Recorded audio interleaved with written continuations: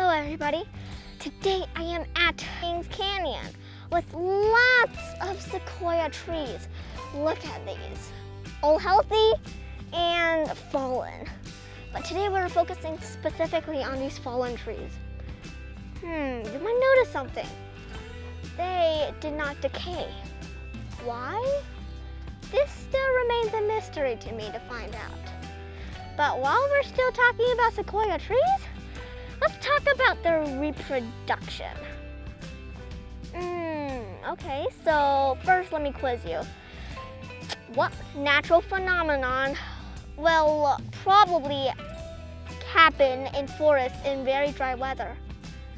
Yes, it is wildfires. But you might think wildfires mean harm. Actually, this means reproduction to these wonderful sequoia trees. How?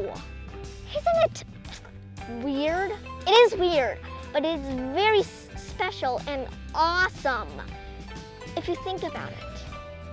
So, these trees reproduce by seeds, which are in conifers or cones.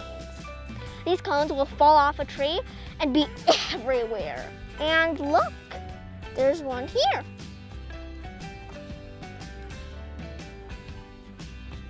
Now, inside these cones are going to be lots of seeds.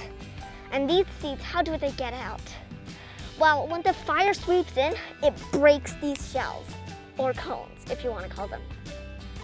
And basically it punctures a hole in the logs too sometimes. But these sequoia trees are very, very, very, very thick. Their outer skin is probably equally thick as a redwood's. So the fire doesn't really do any harm to them. Maybe some limited, but anyway. These seeds, because the conifers or cones are open, these seeds all scatter out. And well, from the seeds, boom, new conifers grow. How interesting. These trees have a very long lifetime and more trees are produced every single year because of these fires. Now you know more about a natural phenomenon and also more about sequoia trees and their reproduction. So, two things in one video.